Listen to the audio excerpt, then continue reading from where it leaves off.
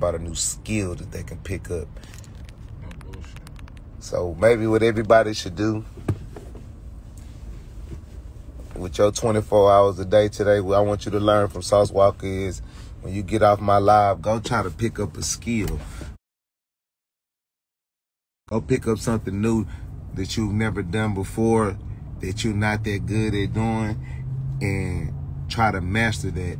And then try to find a way, how can you turn that into success? How can you turn that into a revolving dollar? How can I turn this into something that recycles for myself and my family and my loved ones because the goal and purpose in life is to make money to take care of yourself and the people that you care about and whoever those people are so i'm just trying to give some game to a lane you know what i'm saying because you know a lot of y'all be asking me for this knowledge and y'all want to go to Sauce College but it don't be seeming like y'all brains is too polished.